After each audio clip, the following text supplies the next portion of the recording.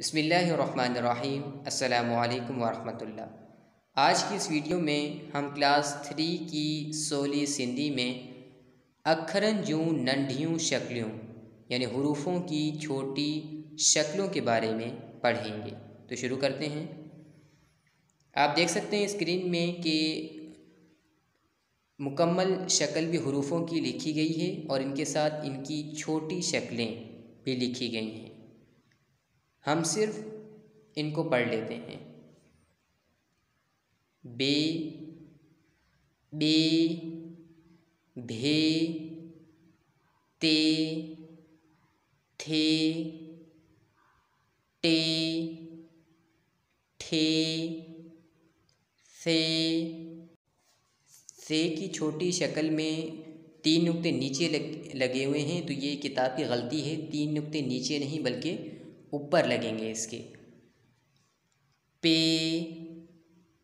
Gym, जे, झे ने चे, छे, हे, खे, सीन, शीन, सौद Zod Ain Ghain Fe Pe Qaf Ke Gav Gav Ghe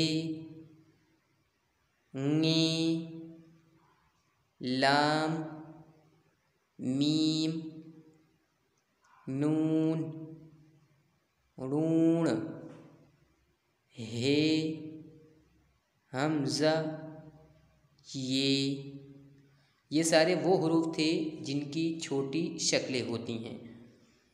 आगे लिखा हुआ है, जन अखरन जूं शक्लियों, नंढियों, न ठंडियों आहिन, से ही आहिन। यानी ऐसे हरूफ जिनकी शक्लें छोटी नहीं होती।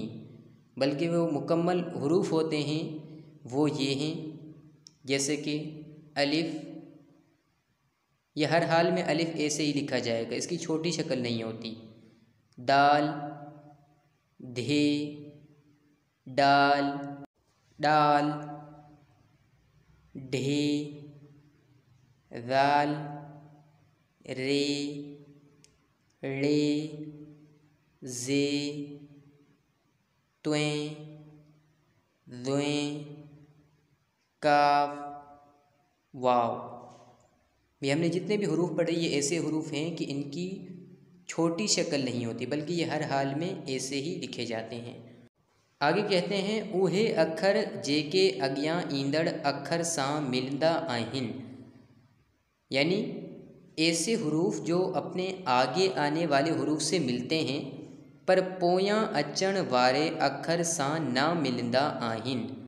यानी, पर पीछे आने वाले हरूफ से नहीं मिलते, से ही आहिन। यानी, वो ये हैं जिए जैसा कि बा प्लस बे प्लस अलिफ, बा, अलिफ प्लस बे, अब। तो कहना चाह रहे हैं कि ऐसे हरूफ जो अपने आगे आने वाले हरूफ से मिलते हैं, मगर पीछे आने वाले हरूफ से नहीं मिलते, वो हरूफ आपको बता रहे हैं वो कौन कौन से हैं? अलिफ, दाल, धे डाल डाल ढे दाल, रे रे जे वाव ये तमाम ऐसे हरूफ हैं जो अपने आगे वा, आने वाले हरूफ से मिलते हैं, लेकिन पीछे आने वाले हरूफ से नहीं मिलते।